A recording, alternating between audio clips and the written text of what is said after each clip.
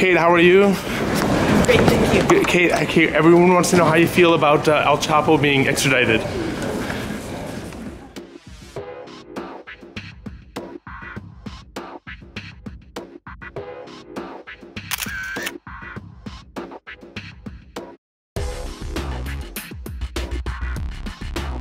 El Chapo's extradition. Anything you can say on that or no?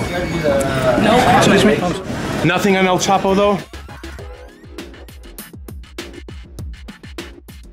Kate, Kate, the, the people really want your opinion here. Does anything, any updates at all? no updates. Kate, did the interview, did the interview ruin your career, Kate? Did the interview ruin your career? Thank you, honey. Thank you. Okay, thank you.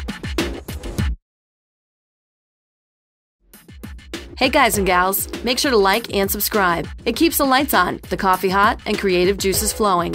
Hurry up and make that mouse go click.